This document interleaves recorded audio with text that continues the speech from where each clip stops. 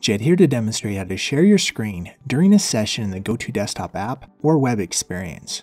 I'll also show you how to pause and resume screen sharing, as well as how to share audio content from your computer during a session. It is worth noting that only one person at a time can share their screen with a group. This video applies to anyone, including attendees without a GoTo account. I'll be using the desktop app for this video, but GoTo can be accessed at this site. I've already signed in as the user Lance Bingham and have started a session as the organizer. Take note that you may see different buttons here depending on which GoTo solution you're using. Those differences will not impact this video however. Click this button to share your screen. Now you can decide what you want to share. You can share a single screen, all screens if you have more than one, or share only the content from a specific application like a Chrome browser. Let's talk about the screen option. If you have multiple monitors, select the desired one. Also, whatever you see on this monitor will be shared, even if that means you are switching between content. If you selected an application, by contrast, other attendees would only see the actions you take with that specific application. Lance is now sharing his screen. What we are seeing right now is from his viewpoint and is considered the regular layout. The screen that is being shared will be surrounded by a green border.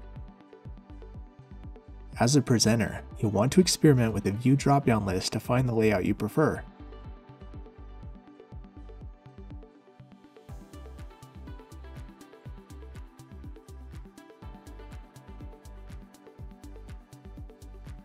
Regular attendees will also want to experiment with these options when a screen is being shared with them to find their favorite layout. As a presenter, you also have other layout options. Click this button in the bottom right corner. In this layout, attendees are shown in a separate area and you have a smaller panel featuring all of your controls. You'll even find some additional buttons here, like being able to use drawing tools during a session. If you are not seeing the other attendees, click this button. To return to the previous layout, click the Merge button. Click the arrow next to the Share button. At this point, depending on what GoTo solution you have, you may see additional options here. From here, we have the option to stop sharing completely, but let's instead click Pause Sharing.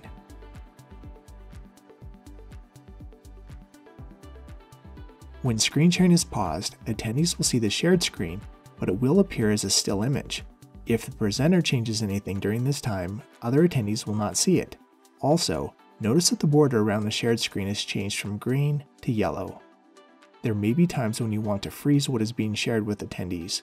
For example, this is helpful when you want to make an edit to a PowerPoint slide you are actively sharing. Let's click the Share arrow again. Sharing can be resumed again by clicking Resume Sharing.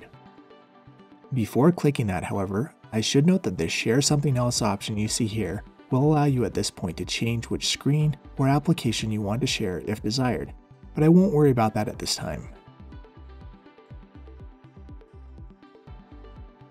If you want to stop sharing, you can click the arrow next to the Share button and select Stop Sharing, or just click the main Share button. Let's talk about sharing audio with a screen. To share your computer audio, check this box. Please note that the Share System Audio option is only available when sharing your entire screen or sharing a Chrome tab. This can be helpful in cases, for example, when you want to play a video from YouTube. As mentioned earlier, only one person may share their screen at a time during a session, Alonzo now wants to share something. An attendee won't be able to share their screen unless the organizer gives them permission or if they have the right setting enabled for their account. Giving permissions can be done in one of two ways. First, hover over the window of the person you want to allow screen sharing permissions. Then click the More icon. From this list of options, select Make Presenter. I won't do that for now so that I can show you the other method. Click the people icon in the top right corner. In a similar fashion, hover over the desired attendee, click the More icon, and select Make Presenter.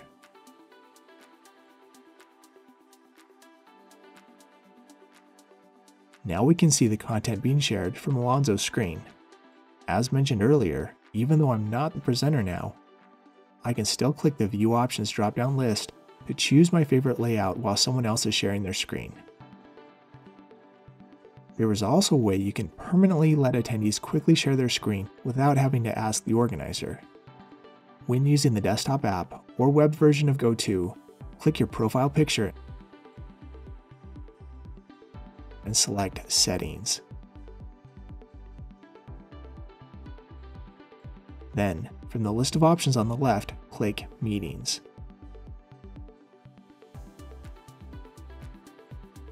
Scroll down until you find the section for Attendee Experience and click the box for Give attendees full access to screen sharing. You can enable or disable that setting as often as needed. That's all there is to share your screen during a session in GoTo with the desktop app or web experience.